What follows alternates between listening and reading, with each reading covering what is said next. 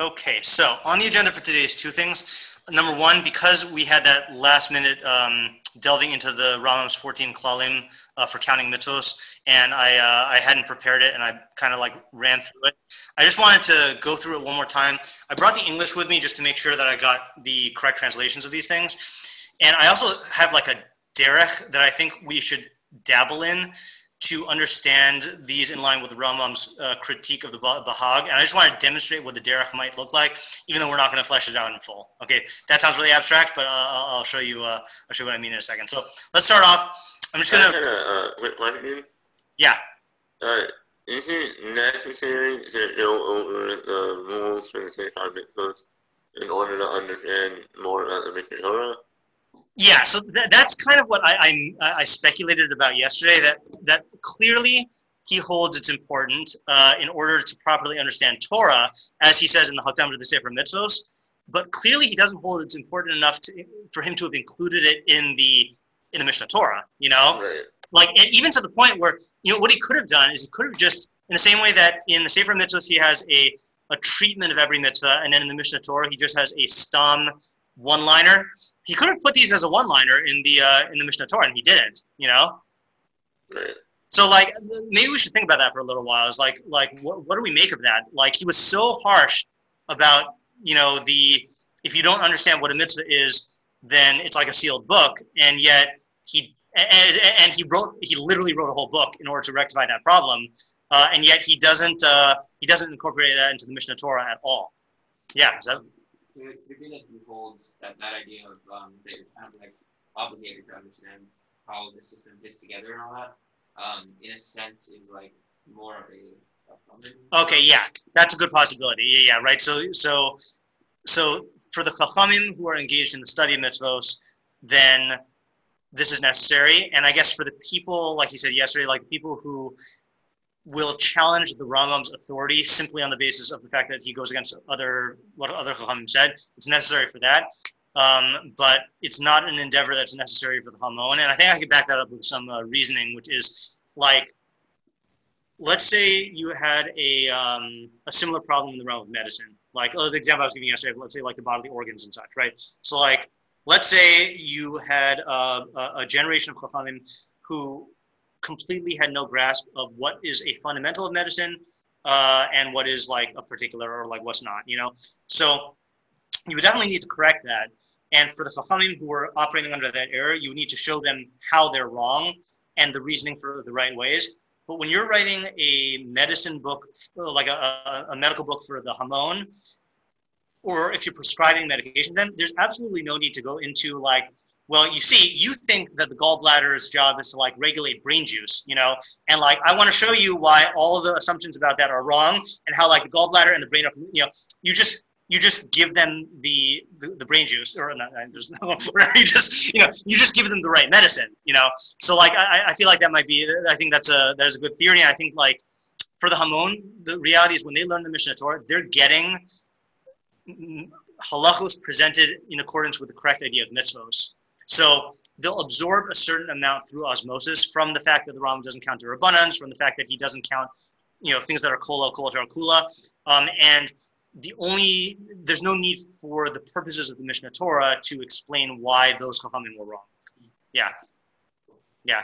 Did answer your question, Chaim? Uh, yes. Is that, uh, I guess, with a further, uh, further lingering doubt? well, his it, it, it seems like there's more unrelated slaughtering at this point. Yeah. Yeah, I mean, it, it is weird, right? Because he introduces it as though his intent was to write the Mishnah Torah, and then he was forced to write this book in order to produce the list right. at the beginning of the Mishnah Torah. So, yeah, so my, I I don't see why he had to write the Sefer HaMitzvos so it seems like he wanted it, like I wanted to like admit it, hold but I couldn't do that until I wrote the same project was. Right. In other words, like like according to what we've reasoned out so far from yesterday, he could have just written a pamphlet with this Hakdama and the Shorashim, and not right. written the Sefer Mitzvos. Is that? Yeah. Yeah. Yeah. That's a good question. Right, and especially when he says that the only explanation he's going to give to the mitzvahs is not for dinim, but in order so you know uh, al pirush Hashem, al derech pirush Hashem, what the mitzvah refers to, you know? So the question is like, what's the use of that?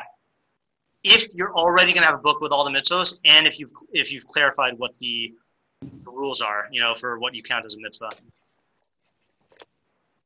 I mean, my I'll, my first inclination is to say, and this is just an inclination, is like, it's one thing to uh, speak in abstract about what counts as a mitzvah, but to see how that system plays out, like you know, is uh, is another matter. But then my the other part of me says, well, wouldn't you see that in the Mishnah Torah anyway? No, maybe the Sefer Mitzvah is the abstract. That's the abstract. Uh-huh. Like, what is the if we're gonna be if I talk about legal Right. So then, but I guess just to push that question a little further, apparently you don't need that treatment of the mitzvahs in the Mishnah Torah, right? Uh, so that's why I'm assuming it's connected to his endeavor of like clarifying what a mitzvah is, um, as opposed to clarifying like what the. So again, like okay, let me just uh, start from the beginning again, right? So Mishnah Torah is a book of dinim. Sefer Mitzvahs is a book clarifying what a mitzvah is. So what I'm theorizing is why is he? So we understand why he has to write the Shorashim. Why, and we understand why he has to list the mitzvahs. Why does he have to go and have a, an entire paragraph in every mitzvah? And what I'm saying is maybe that seeing the full expression of those 14 rules in a full set of Taryag as a theoretical matter is necessary in order to like completely understand that system, to understand what a mitzvah really is. Not for the sake of practice, which is why he doesn't include the, the Sefer Mitzvahs paragraphs in the Mishnah Torah, but in order to fully flesh out like a system of, uh, of the 14 Shorashim.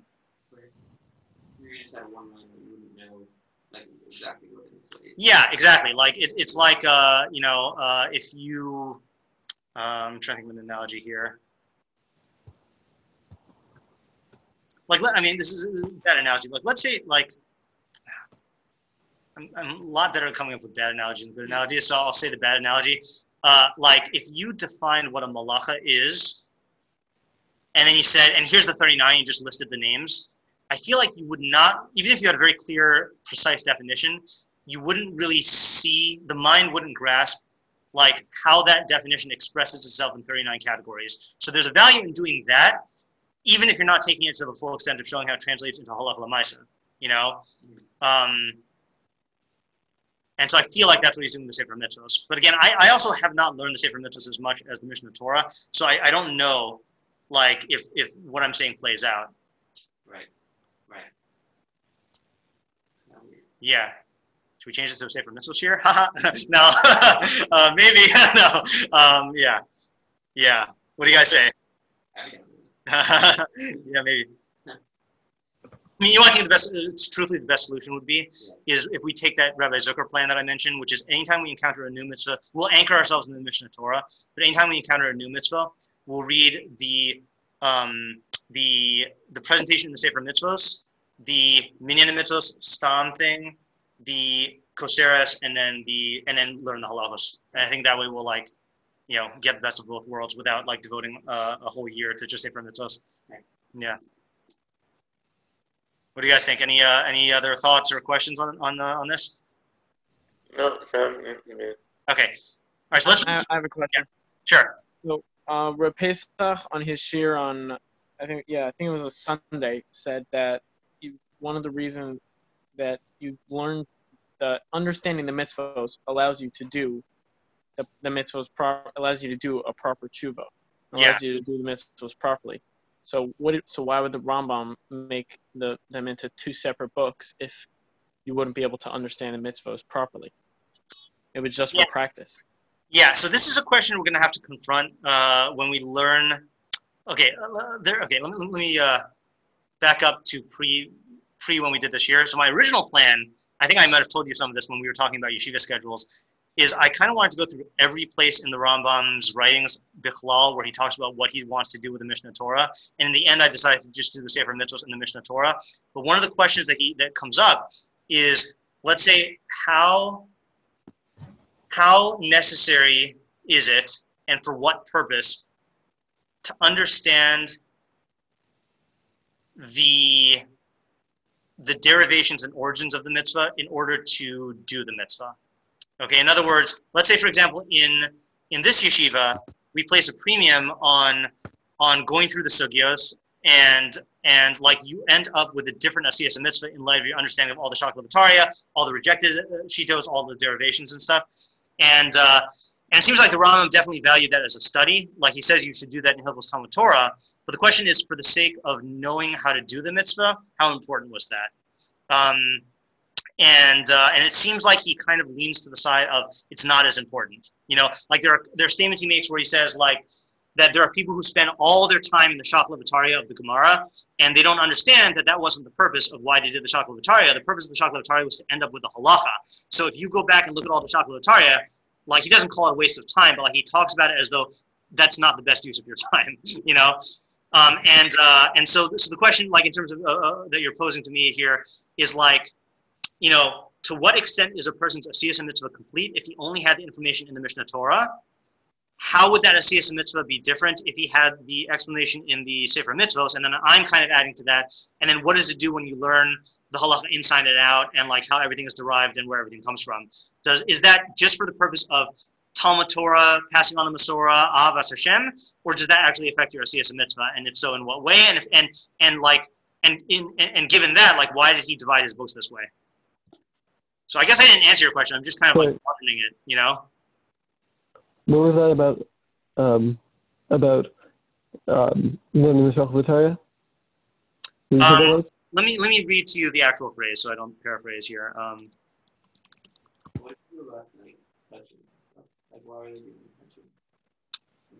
in the Gemara? Um, I guess because they did have a responsibility to halacha masa doesn't mean things that you can implement now. It's uh, but but to know like what the what the final halacha is. Um, let me just stop sharing and then share this document again. So this is a document I have in, in progress right now of, uh, I call it statements of purpose, which is all the places where the Rambam talks about his purpose in, uh, in, in, in, in, his works. Um, and some of this is my translation, some of it I just got from, uh, from various books. Um, so hold on, I'm just gonna find the statement that I was talking about.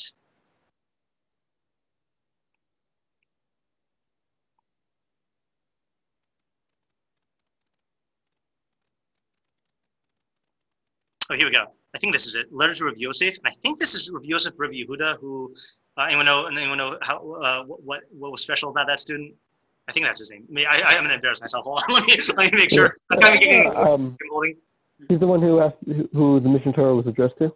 Not the Mishnah Torah.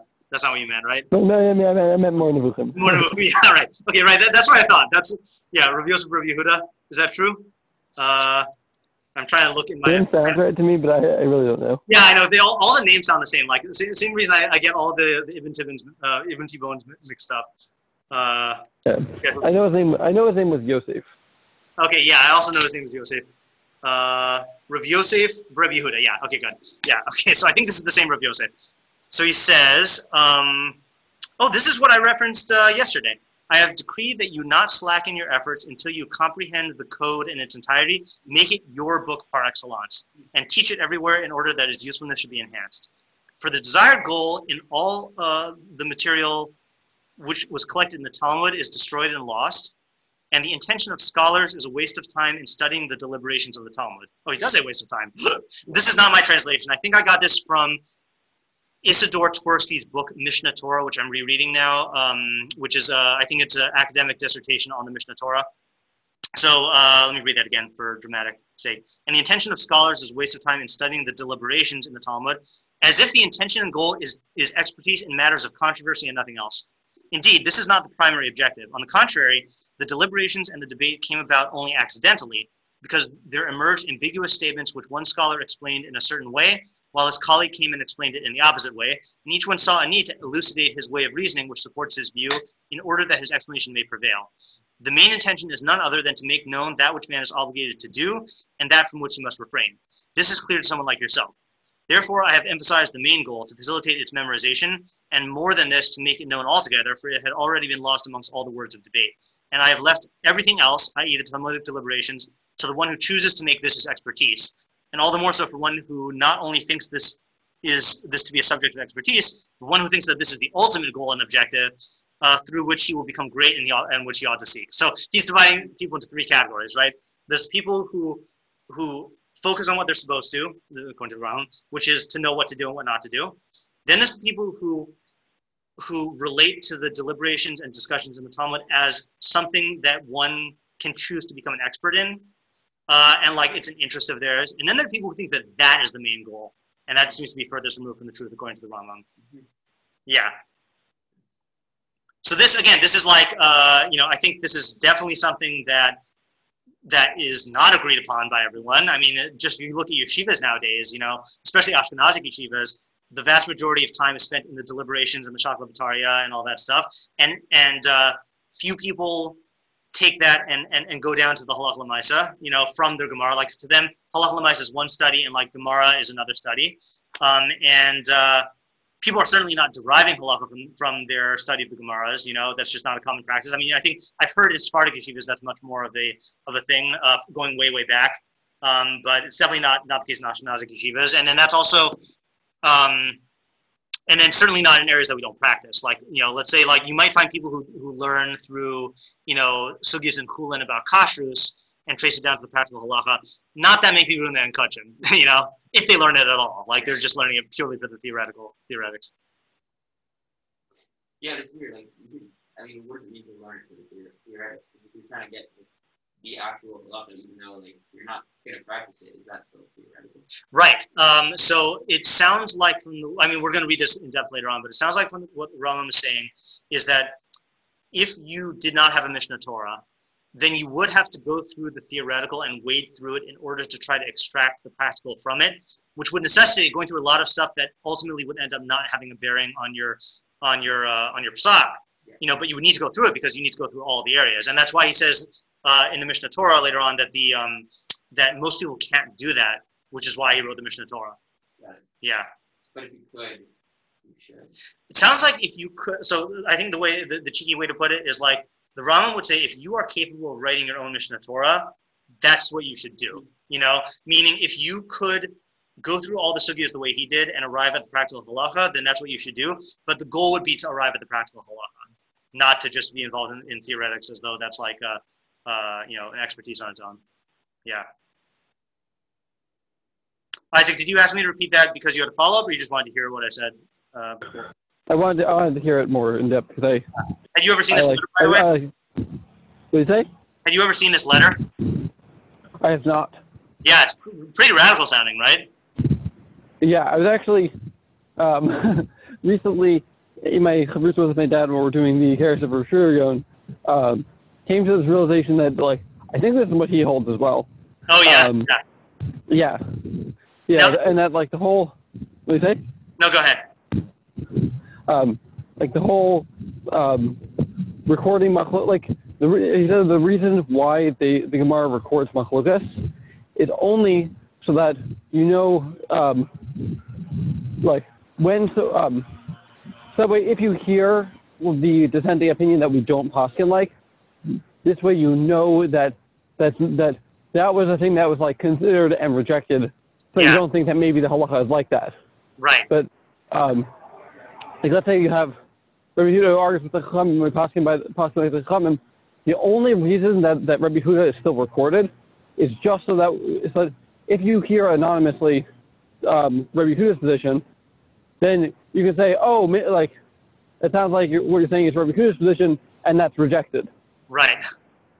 Yeah, that's that, that, that, does sound like his Rambam. Yeah. And uh, and you know, I, I should have Yeah. two caveats here. One is uh, one's minor, which is that um, remember this is one of the Rambam statements of purpose, and we need to put it together. Like we would need to look at all of them, and like there are other places where the Rambam you know says that like I'm not trying to do away with the Talmud, you know, um, and you know we have to take everything together. But then the second is it is also possible that you know the nature and purpose of Talmud Torah has shifted throughout the ages based on the needs of the Jewish people. Like let's say, for example, you know uh, when everything was Baal Peh, so a lot of the way that we approached Talmud Torah was to facilitate the accurate transmission of everything, transmission of everything Baal Peh.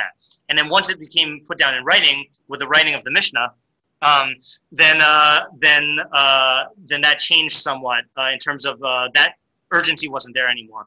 And let's say, for example, you know, before um, there were halachic codes, then the only way you would get psak would be to learn through all the sugyas and arrive at psak on your own, or to depend on someone who's doing that. Whereas once the code started came into being, then practical halacha became somewhat divorced from the theoretical study. So it's possible that now there's some other way that we relate to Talmud Torah where the Shaklavataria becomes more prominent and more necessary. Like, for example, I'm just going to make something up here. Like, maybe one could argue that, you know, in the Rambam's time when there weren't codes, then you'd be wasting your time if you spend your time on the Shaklavataria. But now that you can look up in the Shulchan Aruch and look up what the Psak is, so maybe that expertise is like a luxury that we can engage in now because we know we have what to do with the practical halacha. And why would you turn away from the Ahavas Hashem that you can get from studying the Chachmas of Talmud? You know, like is what the Rambam saying to Rav Yosef? Would he say that today? And I don't have an answer to that. Well, I mean, um, if you were to ask someone how to how like how to figure out halacha today, they'd say you have to look at at at all, all the discussion from the Rishonim and the Achronim on it. Um, right. Which does not sound, yeah. yeah, right, right, right. Which, uh, yeah. Yeah, and so in terms of like figuring out that, then like, um, then going back to the Gemara would be even more of an issue because then you have to do the Gemara and all those things as opposed to just doing the Gemara. Right. Like, yeah. It, yeah, it's, it seems to be even more true. The corpus of text is a lot bigger, and uh, and the gap would be much wider in terms of like how far you're going off of the main purpose. Um, I, I'm looking at my phone now. Uh, my brother Johnny told me that Rav Schachter came out with a statement like this recently, and he sent me the statement, but I didn't read it yet. Uh, so let me just look for it really quickly, and if I can find it, then we'll read it for the first time together. Uh, because if it's on this topic, then that'd be interesting to see what someone who who is intimately familiar with the Brisker Derech, you know, uh, and who's like a, a Gadol Hador, what, what he says. Uh, let's see, hold on. Oh, here we go. So this is the statement. Okay, it's not very long. So he said, so again, this is the first time I'm reading this here. Um, oh, you know what I'll do? Hold on. Let me just uh, copy the link, send it to myself, and then open it on the screen so that other people can see it. Um, sure. Okay. Paste, send. Uh, and let me get it here. Hey. It's a living Isaac. Yeah. Okay. Stop sharing. Hold on. Uh, let me just send this to uh, Zev. Yeah. Okay, sending it now. All right, so I haven't read this yet. Hopefully it's relevant. It sounded relevant. Okay, so uh, he says as follows. So it's called Ikar and Tafel in Learning. Do we know where this is published from? Nope. Uh, or when it was published? Nope. Okay, so he says, the Gemara uh, in the Nedarim 38a tells us that the original plan of the Shel Olam was that Moshe Rabbeinu would, would only tell the Jewish people the dinim of the Torah, but Moshe could reserve the methods of the derivation of the dinim uh, Pilpula Shel Torah exclusively for his own descendants. However, Moshe Rabbeinu was good-hearted, Tov Ayin, and therefore, I'd say that, that's good-eyed, uh, and therefore shared everything with the Jewish people. Interesting. The Netziv in his commentary on the Chumash suggests that this good-hearted act of Moshe Rabbeinu took place at the beginning of Chumash Devarim, the month before he passed away. The Midrash tells us that the Shel Olam gave the Torah to the Jewish people in the desert instead of in Eretz Yisrael, so that no individual Shevet would be able to claim that they are the Baalei Batim over the Torah and should have the final say in the psak halacha. Interesting. Had the Shel Olam given the Torah to the Jewish people in Eretz Yisrael, the Shevet that owned the part of Eretz Yisrael in which it was given would have claimed that they should have had the final say. Uh, therefore, the Torah was given in the desert, which did not belong to any of the Shvatim, in order that all the Jewish people would be entitled to an equal say when the shailos came up. It would then seem, it would seem then that according to the Netziv suggestion that Moshe Rabbeinu shared Pilpula Shel Torah with everyone at the beginning of the Chumash Devarim, when the Jewish people were located in Aver Hayarden, the Shevet within whose share of Aver Hayarden this took place could claim that they should have the final say in the psak halacha. However, the Netziv explains based on Midrashim that the particular location in which Moshe Rabbeinu shared Pilpula Shel Torah with the Jewish people did not belong to any of the Shvatim at the time, thus avoiding the problem. Okay, great. The Gemara 13, uh, Eruvin 13, two more paragraphs here, tell us that Rabbi Meir's style of teaching was that he would explain all the logical possibilities in Paskin and Shaila. In the days of the Tanaim, that was not a popular style. Rather, the students preferred to listen to a shir where the Rebbe said what the din is and explain why the din should be so. They were not interested in hearing all the other logical possibilities. As such, many of the students left Rabbi Meir to learn in the yeshivos of the other Tanaim. In the next generation, when the Tanaim vowed, oh, sorry, voted to learn, let me start again. In the next generation, when the Tanaim voted how to paskin lahalacha, Rabbi Meir's opinion was not accepted most of the time because he had he has fewer students than the others. We live in a generation where everything is upside down. Most of the students in most of the yeshivos are not at all interested in the bottom line psak halacha, and rather are only interested in the pilpula shel Torah. According to the original plan of Ribbon Shel Olam, the pilpula shel Torah was not going to be transmitted to all of Klal Yisrael. This modern style of emphasizing all the svaros and all the logical possibilities is really a distortion of the basic mitzvah of Talmud Torah. According to the original plan, the ikra of Limud Torah, HaTorah, was to be the psak halacha lemaisa regarding every detail of every mitzvah. Our style of emphasizing svaros in all directions is to be compared to a person only eating a lot of desserts without eating the main nutritious part of the meal. Only after one already thoroughly knows all the data about the chukim and the mishpatim it make sense to spend time on the pilpul Torah. Interesting. So you can see why that might be relevant to what we're talking about now, right? I mean, it sounds like the view of Talmud Torah he's advocating is very similar or identical with that of the Rambam, uh, even though he's approaching it from a different direction, like from the Midrashim and such. Um, but you know, we also have to realize that he might be using the term svara equivocally here. You know, he says he seems to uh, throw in svara alongside logical possibilities. You know, and like I can't speak for other yeshivas. Certainly in this yeshiva, what we mean by svara gives you insight into the psak halacha, and therefore, like, it's hard to argue that bypassing that would lead to a better understanding of the psak halacha. You know. Right, but I guess his, his point is that if you had all the facts, then you could have a better svara. Yes, and this is that's the constant that's the uh, perennial uh, debate of like how much to focus on uh, Sinai and Okerharim and the Kius and Eon and yeah. Yeah, well, I think uh, like even, even what you're saying, like let's say there's like going in depth to figure out um like let's say um let's say you're, you're looking at two possibilities and one of them like let's say this is focus in the Gemara and possibly one of the two Yeah. and you're trying to figure out the essence of thermal fluids, then that's helpful for figuring out the the sum.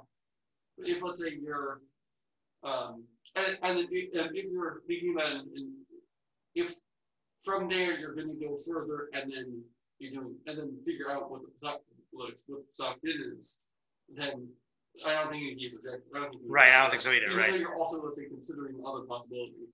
Yeah. Um, like to help you refine the two the two sides. Yeah. But if you're um, just let's say think like focusing on you know how many mosquitoes um, in the abstract of then like of, of like like different possible ways you could think about this thing, Yeah. but not with how it relates to practical level. Um, then I think that he, that- that's what he's talking about. Yeah, and I'll show you. I'll tell you an extreme nafkamina of that. I remember in yeshiva. I think this was in 2006 or 2007 in Rav Pesach's year. Uh, someone who came to us from another yeshiva asked a question. I don't know if he was asking it practically, uh, but he said, uh, I, think his question was, would it be a good idea to go through and just define havaminas? Hmm. You know, um, now I, don't know where that's coming from, but like that would be the extreme nafkamina of like if you view the essence uh, to be like appreciating logical possibilities. So then what's the difference between a Havamina and a Maskana? You know? But like if you're just going through to understand Havaminas, especially to the exclusion, I don't know if he meant to the exclusion of Maskanas, like I, I, I, don't, I, don't, I, don't, I don't quite get it. Um, but like, you know, even according to this framework, like, you know, the, the virtue in studying a Havamina is in order to better understand the Maskana. It's not because of the value of Havamina as a logical possibility per se is like something that we should uh, explore. Well, I guess like intrinsically there is no difference in how the Maskana it just happens to be the Maskana is the. So in, intrinsically, in terms of as a svara, then I think you're right. But in terms of intrins- in terms of its its role in the system, Yeah. which I guess is not intrinsically, yeah. Then then yeah, then there's, to be that it's Right. the way it's constant. yeah, I mean, it's not. It's, it's easily not related. Yeah. Yeah. yeah. Interesting, uh, interesting question. Now I, I have a feeling that we're going to get more into this when we read the Hakdama to the Mishnah Torah itself, and I also have a feeling we're going to get more into this when we get to Hilchos Talmud Torah when he defines what Talmud is. You know, um, but I think this is good to have in the back of our minds now. But just one more point about this. Yeah, Um, back when they had the, the, the Hedron voting about things, um, like they had when the Machlokas came up they discussed the different possibilities, and then they vote. And then the one they decided was the halacha, and the one that they decided against, even though it was a totally reasonable possibility before they voted, it's now like nothing, and you don't like you're not supposed to even like teach it. It's not it, Mhm. like, uh, it's not like oh, it's, since it's a valid like conceptual possibility, then why aren't you teaching it? This- Uh-huh. Wait, so then what, what, what were we talking about earlier? Then which ones were recorded to Oh, prevent people? when the Sanhedrin stopped voting. Oh, okay.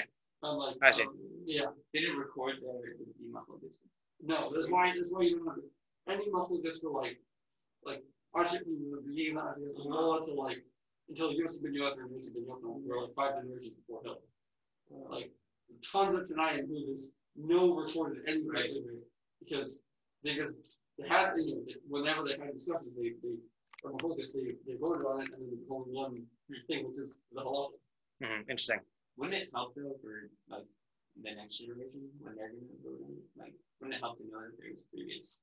Well, Like there was was if they some- So if they already knew what the halacha was, they wouldn't vote on it. It was if there was, like, if they, there were questions about what the halacha was, Mm. that's when they have to, you know. I also feel like I don't know if this is just imagination on my part, but I also feel like there's a uh, uh, there's a question of practicality of how much effort and time to devote to preserving those. It's kind of like saying, like we say, wouldn't be helpful. It's okay. Um, actually, you know what? I'm going to go through the the Dara. Uh, uh, let me. Yeah, I'll read them first. Okay. Two uh, is we are not to include in this enumeration laws derived from Scripture by way of the 13 exegetical principles by which the Torah is expounded, or by the principle of inclusion. Right. So not through the the Midos SheHaTorah Nidreshes Bahen. Three, we are not to include in this enumeration commandments which are not binding for all time. Four, we are not to include charges which cover the whole body of the commandments of the Torah. Five, the reason given for a commandment is not to be counted as a separate commandment. I think we understood all these yesterday. Six, where a commandment contains both a positive and a negative injunction, its two parts are to be counted separately, the one among the positive commandments and the other among the negative. Seven, the detailed laws of commandment are not to be counted among the commandments. Um, Eight. so an example of that, so he says, um, uh, an example of this, chalitza and yibum are two commandments among the positive commandments. There's no controversy on this point. But when we study the laws of these two positive commandments and what is and what must be compiled, sorry, what must be complied with in accordance with the propositions of the law, it follows that some women perform chalitza and may not contract yibum. Others may contract uh, yibum and may not perform chalitza, while still others may do one or the other, and others may do none of these two things. Same applies to men, that is, brothers-in-law. Some submit to chalitza but do not contract levirate marriage. Others contract marriage but do not submit to chalitza. Still others may do none, and others may do either. Uh, contract the levirate marriage or submit to chalitza. Okay, goes on and on and on. I think he's just going to say, now, if we were to count each and every one of these laws as an independent commandment, the, tra- the laws of Tractate Yevamos alone would reach more than 200 commandments. okay, yeah. Uh, yet there is not one among them that entails either a positive or negative commandment in itself. Instead, we are to say that these laws um, provide only that under certain conditions, this sister-in-law must perform chalitza or contract levirate marriage, and under other uh, conditions, etc. Yeah, so just don't count halachos as mitzvos. Yeah. Yeah. Okay, eight. Um, a mere, I think this is, yeah, this is the one that we didn't know. A mere negative statement excluding a particular case from the scope of a commandment is not to be included among the negative commandments. And he gives an example. Uh, he goes through a lot of Arabic stuff first, then he gives an example. Uh, he says, uh, this is a funny word here in English. Okay, this really tickled my funny bone for some reason. Uh, I will explain this matter. The Lord has agreed that if a master smites, now how would you translate Eved Kanaani? Canaanite servant? A Canaanitish. Canaanitish bondman. what makes, what's the, where's the ish come from? Is it because I maybe he's trying to say because it's not literally like Canaanite, like and he's trying to acknowledge that it's like a non-Jew, it's an it's just a non-Jewish Evid, but we call it Canaanite-ish. Uh-huh. It's just very I found that very funny. Um, yeah, right. okay, so Lord has the Lord has decreed that if a master smites his Canaanitish bondman or bondwoman and causes them the loss of any of their chief external organs, they go free. Hence, one might think that this law all the more applies to a Hebrew bondmaid, that if the master causes her the loss of one of her chief external organs, that she should go free. Therefore, he negated her from this law by saying, She shall not go out as the slaves do. As if he were saying, as if Hashem were saying, there is no obligation to let her go free in the case where he causes her the loss of one of her organs. Thus, the verse negates certain law from being applicable to her, but it is not a prohibition. So that's what he means. So lo yitze, uh, I forgot the lo tetzei k'tzeis avadim or whatever. Even though it's expressed as she shall not go free, since it's just negating another law from her, we don't count it as a law. Okay, so like if you did this, my guess is you'd be violating, you know, maybe an institution of Eved Kanani, but you wouldn't be. There's no like separate law that you're violating from that. Yeah. Um, I'm gonna give us other examples here. Uh, oh yeah, here we go. Yeah. Um, hold on. He gives another example. Similarly, his words, they are not liable to death because she was not free, do not constitute an admonition, but a negation, saying in effect, they are not liable to the death penalty because her freedom was not complete. So just because a statement is made in the negative does not mean that it's a lo sa'aseh. And he says at the very end uh, of the, not sorry, in the, in the middle, this is so long. There's no clear-cut rule for distinguishing a negative statement from an admonition except by the purport of the statement. There, there's no special word that differentiates the negation from the admonition since they are both expressed in the Hebrew by the same word lo. Wait, what's ad, what would be admonition? Uh, admonition, I think, is just- just the fancy English for lo sa'aseh or Uh, prohibition. I think it's a negative. Yeah, no, I think admonition is like you say? Oh, uh, do this, but not as a commandment. I see. Like let's say, um, like to compare two two things that are Right, yeah, that are similar, but like to be similar Russian, but I think, or one's example is negative. Uh, like let's say when it says that, that um, for the case of Onis and Makata, that you he can't send her out. Yeah, Um, uh, then like I think that's a lot. Um, I think. Um, as opposed to let's say when you sell a house in the walled city, it says then it do, then it, it, it doesn't it doesn't go back. mhm. Um, but that isn't like a is is saying that there's a thing that does uh, like a phenomenon that doesn't happen as opposed to a an isser of doing so. So let me just actually look it up in, in the Hebrew, uh, just to see what it says here. Um, yeah, so he says, yeah, v'ein davar yisbar lecha lahavdil bein hashlila v'ha'azhara. So azhara is the word that they're using for admonition. Shlila. Shlila is just a negation, like negating a law from her, or from it, from the case. I Mean like, don't do this. Right. So, like in that case of she shall not go out as the slaves do is a shlila, not an azhara. Meaning she's still bound to it. Right. But but the point he's making is that you don't count it as a lo sa'aseh, even though it, los ases are phrased in that way also. Yeah. Yeah. Okay. Um, the ninth principle. Uh, we also got this one last time. The enumeration is not to be based upon the number of times a particular negative or positive injunction is repeated in Scripture, but instead is to be based upon the nature of the action prohibited or enjoined. So the more it appears, that does not increase the count. Right. Number 10, uh, acts prescribed as preliminary to the performance of a commandment are not to be counted. Right? That was like the uh, bake the bake the lechem hapanim. Um, uh, it does not count as its own mitzvah. Um, Eleventh one is the different elements which go together to form one commandment are not to be counted separately. So the example he gives here is a good one. Is uh, you don't count each of the arba minim as its own commandment, even though they're all in, they're all ma'akev. Um, And that's that's different from um, the details of a commandment are not. no um, when he said he was grouping the mitzvahs, there was um, there was and there was Matara. Matara. Yeah. Matara is multiple mitzvahs that um, are each individual mitzvahs, but um, like relate to one another in a practical sense, as opposed Yeah. to this, which is um, like multiple factors in a single. Yeah, indispensable components of one mitzvah. Yeah. Yeah. Um, the twelfth principle: the successive stages in the performance of the commandment are not to be counted separately. So, what was an example of that? Oh, that was the mikdash one, uh, right? That you don't count all of the procedures of making stuff for mikdash in as one uh, as as individual mitzvahs. You just count V'asu li mikdash as one. The thirteenth. How's that different than the argument? Uh, that is These are like separate actions that all do one thing. right. The other one is components, like uh, parts. I think. Uh, let me just give another example of the of the arba minim category. But also, how is it different than preparation for it? Is that all part of it? Yeah. Right, here's another example of the lulav category. Uh, strictly similar, similar case. We are not to count uh, Hashem's statement concerning the, the Metzora that he be cleansed with two birds and cedar wood and scarlet and hyssop and running water and an earthen vessel as six commandments.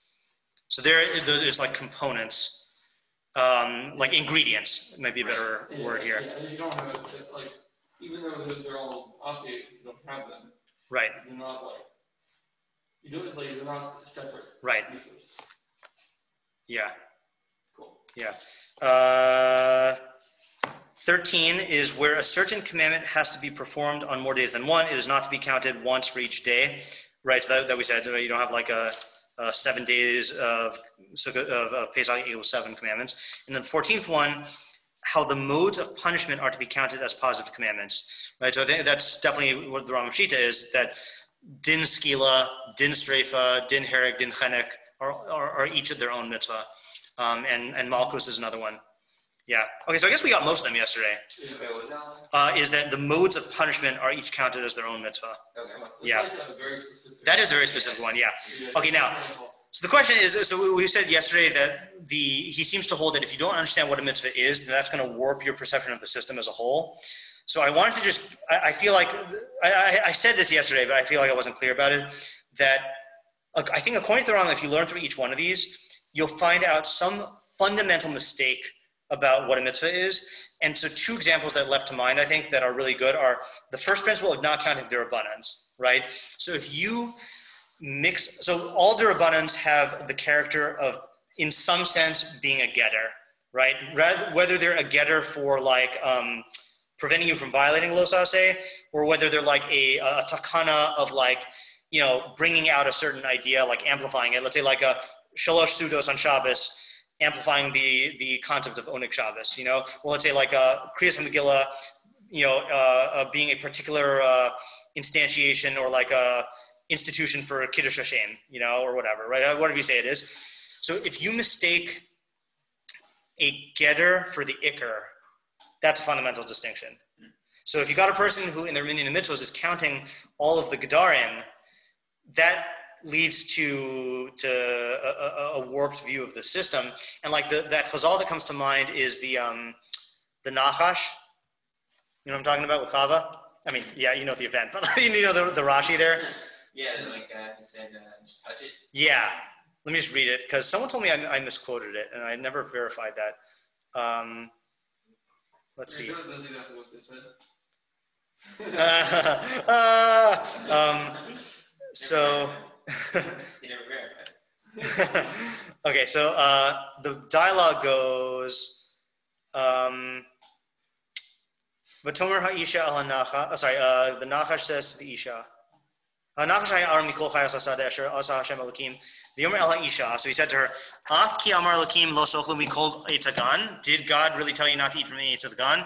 Vatomer ha'isha al hanachash mipri etz hagan nochel. Uh, The Nachash said to the um, the Isha, the Isha said to the Nachash, "We can eat from any of the fr- fruits of the tree." Uh, from any tree of the garden, I mean, for any of the fruits of the trees of the garden. But from the fruit of the tree that's in the middle of the garden, Amar Elokim lo sochlu mimenu v'lo sigu bo. Do not, God said, don't eat from it and don't touch it, lest you die. So Rashi, oh, was this what they said I misquoted? Did I claim that Rashi? No, no, no, never mind, sorry. Yeah, he does say this. Okay, so um, lo tigubo, so don't touch it. Hosifa al hatzivoy. She added to the tzivoy. Yeah, that's what I misquoted. See, I always learned it that Adam made a geder and didn't tell her. Right. Oh, yeah, no, it's the, um, the. So I, I, I wonder if that is a different, uh, if there is a different version of the midrash or not.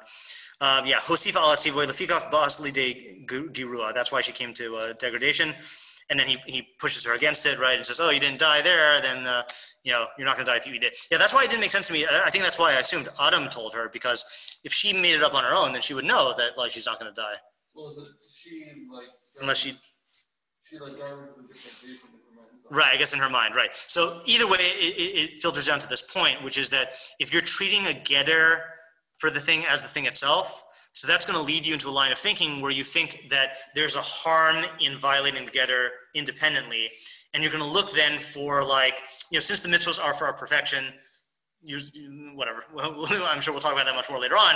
So like, it, there's a very different thing where if you say that that that doing this action harms your perfection versus doing this action makes you prone to doing something else that will harm your perfection you know? Um, so that's an example of like how this would lead to a messed up view of the system. Right. um, or like another good example of this is the um, you don't count uh, something that's kolel kol Torah kula uh, as a mitzvah. So there let's say you count a kedoshim tihiu you know or uh, you know uh, uh, serve hashem.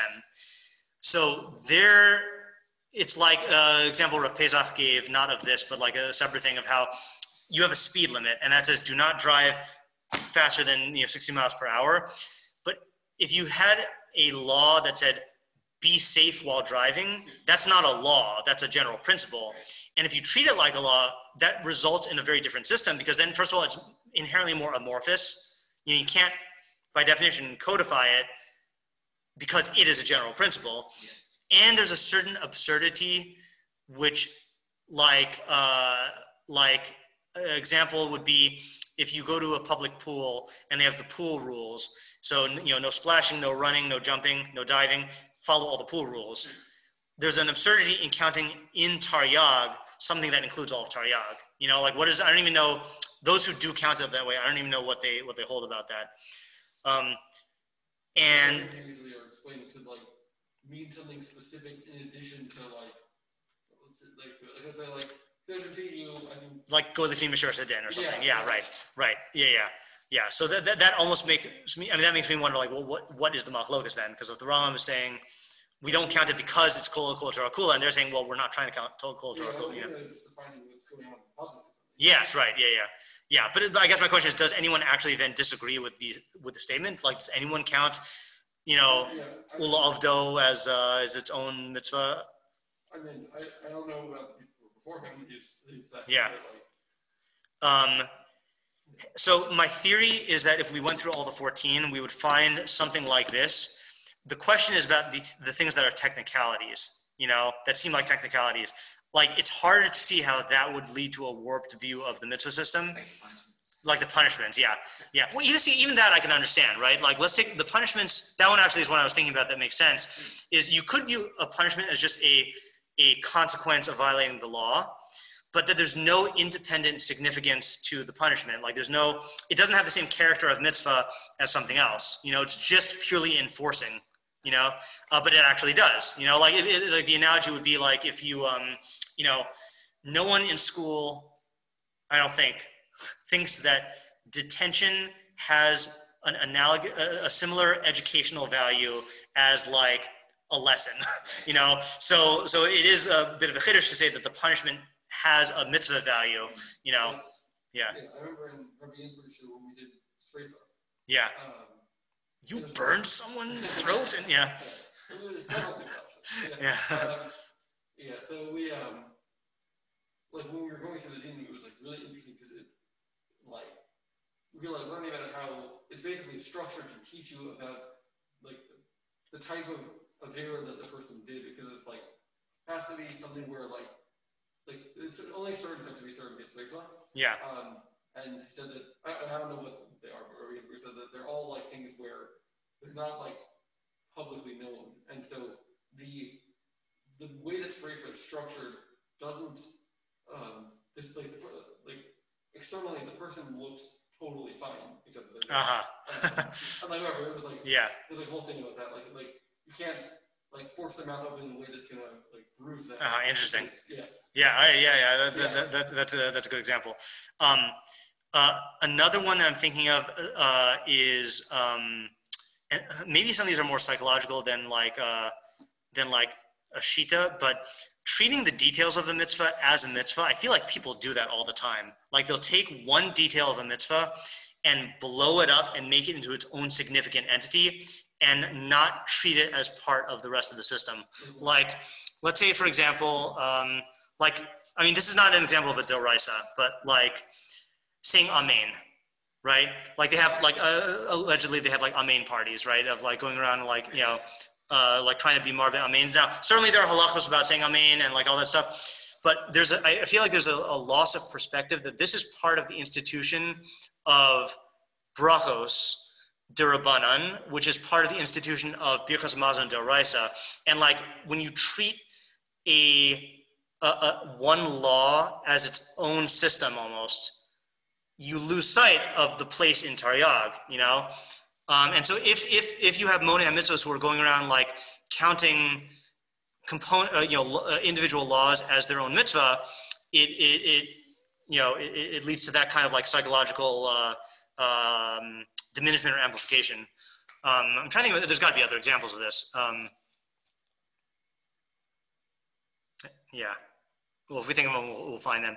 And then similarly with like the, um, the component of a mitzvah counting uh, uh, that's a similar psychological one. Like you could see someone you know let's i don't know if people actually do this but let's say like the arba minim you know of like venerating a particular min you know as not venerating as in worshiping but like as in like endowing it with a with an intrinsic significance because it's indispensable.